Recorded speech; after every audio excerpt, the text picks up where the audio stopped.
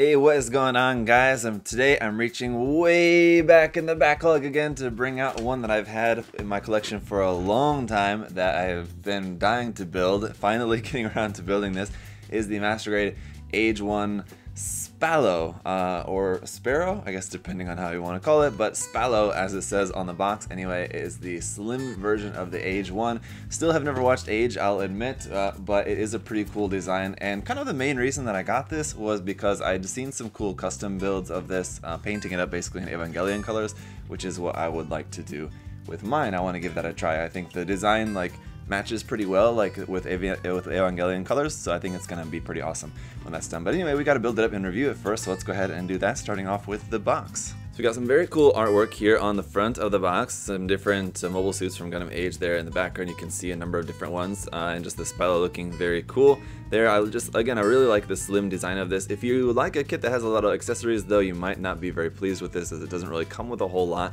Uh, but it is pretty cheap. That is, if you can find it. The different Master Grade Age kits can often be hard to get your hands on because they don't make them very often, and they are pretty popular. Despite the series not being all that popular, the Master Grade kits do sell out pretty quick. So here on the ends of the box, you just kind of got the same thing. On the side of the box here, it's showing off some of the nice detail of the inner frame. Obviously, being a Master Grade, that's not really a big surprise, but they're just proud of that part, I guess. Uh, action pose, cockpit, it's got all of that. It's got the age symbol there on the front of the chest. Of course, there's a front and rear view of what it looks like when it's all built and painted up. Again, as much as I like the design, of these colors, I don't know, something, I mean, the black legs are a bit odd for me. The original color scheme I would have to tweak a little bit if I wanted to go for that, but like I said, I'm not planning on using that original color scheme. Uh, over here on the side of the box, some more action poses, some gimmicks here of the shoulder mechanism, everything there, the marking for that, which I believe is probably going to be maybe a couple of dry transfers, mostly stickers though I would imagine inside the box here once we get it popped open. Legs, the hand parts are just going to have the swappable hand parts. If you guys have built some of the recent GM variants like the GM Sniper 2, etc. Uh, it's using the same hand parts. The actual like palm is different, but the finger parts it can be the same if you guys have seen that anyway. So some of them anyway. And over here, a look at the kit completely unpainted straight out of the box. And this, I've had this kit, like I said, for a while, so it does still have the list price on here. List price is 3,500 yen, so like I said, very affordable. That, again, just depends on, of course, if you can find it. So in here, we've got a whole bunch of stuff. What's this? A little advertisement for Age First Evolution. Maybe that's a must be an Age manga series, I guess. I don't know. Uh, and then all of our runners, which we'll go through here in just a minute. But let's first just check out the manual. On the front of the manual, you just got the box art there. Once again, on the back side, just a nice big photograph of the kit there, so you can get a good sense of that. Again, this is just a painted sample there, but you got a nice big reference photo. On the inside, some more information here, all in Japanese. Some line art though, that looks really nice, and some other artwork down here. And then just some tips on applying the decals. Looks like, yeah, dry transfer decals. It's giving you tips on how to apply those. Then we're on into our parts list. Again, not a ton of runners in here necessarily, with it being a pretty slim design. And straight on into the construction. But here in the middle pages, we have some more information. But once again, it's all in Japanese, so just got some information there. Our painting guide there all in Japanese painting guide there for the figures. And looks like we have a couple different pilot standing figures as well as the seated pilot figure there. Uh, a tip for paneling the kit and some more action poses and things over here. So again, great reference for posing the kit. If you build it and you're having trouble, you know, doing a cool pose, just refer to what you got here in the manual. I got some cool poses there with the knife blades. That's going to be basically the only weapon I mentioned before about having not a ton of weapons and accessories. Those uh, knives are basically all it's got. But again, it's very Evangelion-esque. Going here to the back page, we have the layout of where all the decals are going to go. I don't think it's really going to have all that many of them, but there's a number of them as you can see, where those go on there. And let's go ahead and uh, check those out, as well as the rest of the runners. Alright, so we've got a number of different stickers and things here. Starting off with your basic foil stickers there for the eyes and head camera, that's pretty much to be expected. Then we also have these mirror stickers, which are similar to the foil stickers, but it's a little bit like thinner and more flexible kind of material, less like paper and a little bit more kind of rubbery. Anyway, these mirror stickers that are going to go behind your clear parts to make them shine very nice and brightly. Then you got your standard marking stickers here. You got a good amount of these, these small little caution markings that are to go around everywhere and a couple little big stripes on there. And then your dry transfer decals, which are nice, I guess. I would prefer waterslide decals, of course. I don't really like dry transfers all that much, but in a bind, you know, they can be good to use. I don't really plan on using them with this one though, probably not, so I don't know, I might not use these. But okay, so we got PC207 for our polycaps here in gray. And runner MP3 here for our hand parts. Now, like I said, this is a familiar runner if you've built the Master Grade GM Sniper 2, for example, as it's usually this part of the runner here and these parts at the top you'll omit and you'll only use the hand parts there. Bottom we have the addition of some new hand parts for this particular version of the kit over here on the side though as well too. Our A runner here in this case is strangely only in one color, not two or three or four, and it's quite small actually, just a few parts on there, but this is in a really nice blue color. Runner B also quite small, it's just a few parts there in red. Runner C is going to give us our yellow parts for the collar, the skirt armor pieces, and chest vents. Runner D in a clear, slightly bluish green color here for the eyes and the A in the front of the chest. Runner E here in white for some head parts as well as some pilot figures down there. And runner F here is our first full-size runner in gray, it's mostly inner frame parts there, it does look really nice. Runner G here is once again back to that same color blue we saw on the A runner. Runner H is back to white where we got some more white armor parts as well as some new pilot figures on there. So it looks like we're going to have three different standing pilot figures included with this kit. Runner I is our super dark gray, sort of meant to be black parts there for around on the feet and the lower legs. Runner J is another gray runner here of some more inner frame parts. And the same thing for runner K again as well. And it seems like, you know, the inner frame does seem pretty nicely detailed, but mostly in any areas where it might show. So you got like these parts on here. over here, for example, just kind of more just structural joint parts that are obviously not going to be as nicely detailed, but anywhere where the frame is going to show, it does look pretty nicely detailed. And finally, last and I don't know, maybe sort of least in this case, uh, is runner L, which is just our singular clear green knife blade. And it is in the same color as the clear green we saw on the D runner as well too. Now I was under noticing that we had actually had two of these knives, but I guess we only have the one. That's okay anyway, so that's it. So there you have it guys, like I said, not a ton of stuff in there, relatively simple master grade, but it should be pretty nice. It does look really cool. So let me go ahead and get this all put together and we'll see how it looks. Alright, here it is guys, all put together, and it was a pretty quick build as you might imagine, not really the most complicated master grade out there, even though, I mean, it's a pretty, you know, like slim design, but even the inner frame as well too is pretty simple, so it was a pretty quick build, and that also explains, you know, the fairly cheap price of it, as we saw, 3500 yen for this, not too expensive, so I mean, it's all reflected here in it being a pretty basic kit, which I mean, you might like or you might not, I think probably if you're uh, enjoying this kit or looking forward to getting this kit, it's probably just because you like the design, it's not necessarily because you're looking for a super complex, complicated master or anything like that. If you wanted a age 1 Sparrow in 100 scale, this is basically the only option. There's no other like non-grade 100 scale option or anything like that. So if what you enjoy more about the Master Grade experience is that having a more complicated frame and a lot more parts and a lot more detail and things like that, then maybe this is not the kit for you. That said, there is a fair amount of detail on there. It doesn't, it's not, it's not necessarily lacking in the detail department. But anyway, let's just go ahead and jump into the accessories, which are also pretty minimal. So yeah, our only real weapon here is the Shiguru blade, which is just a couple of parts, a couple of white parts there for the handle, the gray piece, and then our clear piece. I mean, it looks really nice. It's just simple and a pretty good size. It's not like a typical like small knife or something like that. It's a little bit larger than that anyway, you can see there compared to like the Gundam's arm for example. So that'll just be held in the hand, and when not held in the hand, you can store this here on the back straight, flip that part down, and this fits right down into there. Just clip that into place like so for storage like that. Now as for the hands, we've got just swappable fingers. So you've got just closed fists here and you can swap those out for holding hands, you have a set of holding hand fingers for the left and the right side. And then it's open hands like this with the fingers curved. And now you have like straight fingers as well too. And they're interesting because they actually this closed fist is made up of two separate parts. So you pop out just the first two fingers and you can replace that with just these two pointed fingers like that if you wanted to do some kind of, uh, I don't know what martial arts that would be, I don't know, jujitsu looking sort of hands here and you're, when you're doing your martial arts poses. You can also swap out the second set as well too, just to make them completely flat hands. There, like that. If you wanted to do just uh, like a chopping or running style hand, something like that, you can do that just having all four fingers uh, extended. So there's your hand options. You got some nice options there. You have just your standard action-based adapter here. You can use to put that up on a base and your two included standing little uh, pilot and character figures here that you get included. Now you do also have the one that was original, which is the age one normal.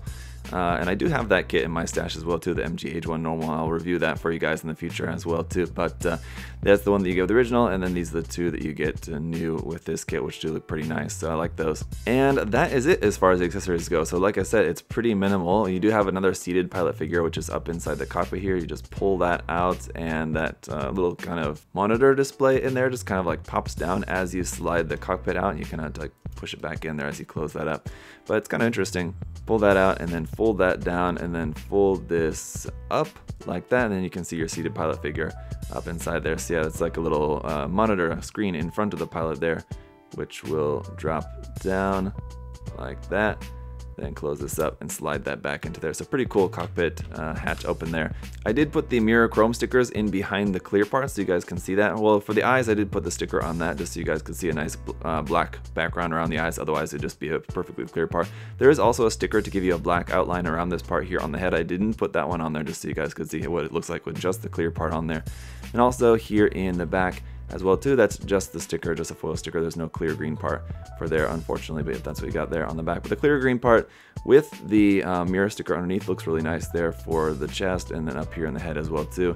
For the eyes, does look good. You just have to paint the black around the eyes, but it would give you basically a similar look as to what you get just from using the foil sticker included with this. Now this being a sort of martial arts themed mobile suit, you expect the articulation to be pretty good to be able to do some cool martial arts poses. Let's go ahead and check that out. Right off the bat, the head articulation up is going to be a little bit uh, lacking. That's as far as it will go up. Kind of wish that that would it could go up a little bit farther. Uh, but then down, you do have a double joint in there. So aside from just the ball joint that the head is on, the whole neck piece will move uh, forward and back a little bit there as well too. So down, it goes plenty down. It's just up. You can't really get any farther up than that, unfortunately.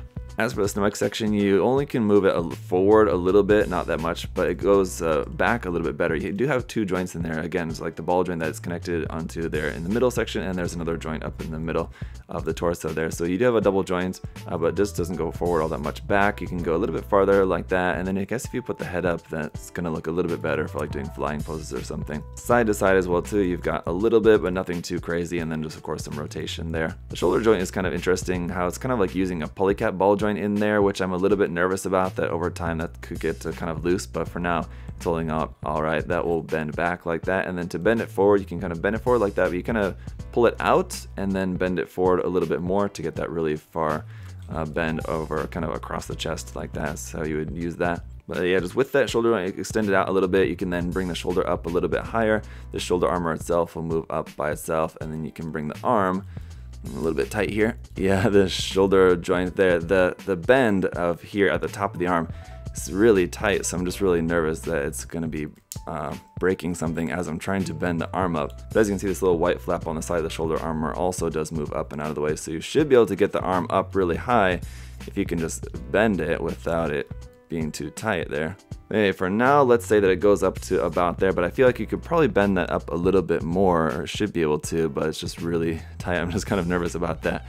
But there's the upward movement of the arm there. And then it is a very thick biceps here. You've got some rotation there as normal and then a double joint in the elbow to give you a nice full bend there. Here on the back of the arm too, these little flaps will open up. You got one, two of those that are separately articulated to open up on the back of the arm, which is pretty cool like that. The wrist is on a ball joint, but then you do also have another hinge here, uh, kind of, kind of like at the front of the wrist that will just hinge up and down like that. And then the thumb is on a ball joint and you do have a bend in the thumb as well too. Unfortunately, you can't bend it any further back like that to do a thumbs up pose. Also in the hands, aside from this movement forward and back like that, you can rotate the hand here in front of that circular bit as well too. So that's a kind of interesting point of articulation for the hands here. Our front skirt armor pretty minimal here, so that'll just move up and out of the way. The side skirt armor also just move up and out of the way like that completely. You do have uh, a separate gray like frame pieces up underneath there, so that's nice.